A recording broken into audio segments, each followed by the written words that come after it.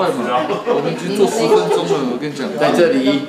就算是已经到了热天，清境农场温度嘛只有二十五度左右，伫遮泡一杯芳醇的高山茶嘛，未感觉热，颠倒有一种舒适的享受。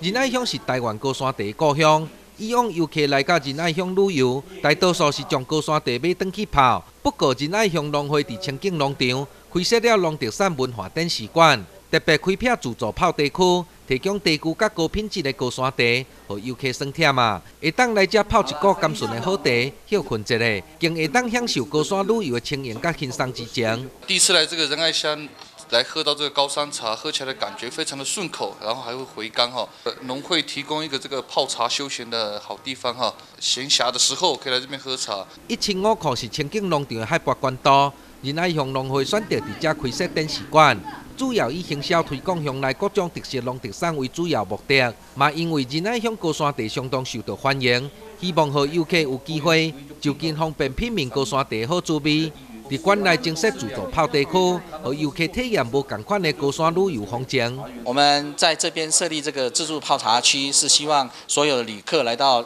亲近农场以后，能够有在傍晚或是在。中中午能够有一个休闲的泡茶，能够在悠闲当中品茗好的茶叶，那特别是在高海拔品茗高山茶，能够有一特别的一番风味。那特别在这种环境当中，非常的好山好水，又非常的气候非常温，非常的适合的地方来泡茶，能够让所有的旅客哦能够